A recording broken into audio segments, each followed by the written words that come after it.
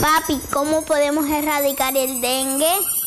Conserva limpios y tapados tanques, albercas, aljibes, llantas y floreros. Limpia periódicamente cunetas y todo tipo de recipientes. Recuerda que el mosquito del dengue se reproduce en aguas limpias y tranquilas. Si eliminamos los criaderos no habrá larvas. Sin larvas no hay mosquito y sin mosquito no hay dengue.